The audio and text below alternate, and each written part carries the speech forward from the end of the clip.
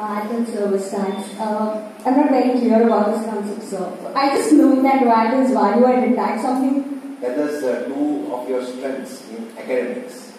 And can you relate it to finance executive in Infosys? And can you tell, because of these strengths, you are you will be a good finance executive at Infosys. I'm good at grasping. But I'm talking about You told you are good in communication skills. Yeah. So I need two of your strong subjects in academics. Okay, one is cost and another one is tax. And how and tax is your strength then. Yes, but that particular VAT we haven't studied yet. So I don't, I do not have clear knowledge Now about ask me an out of syllabus question. Yeah, I know it is a general question, but right now I'm not. So costing and tax, how can you use it as a finance executive of Infosys?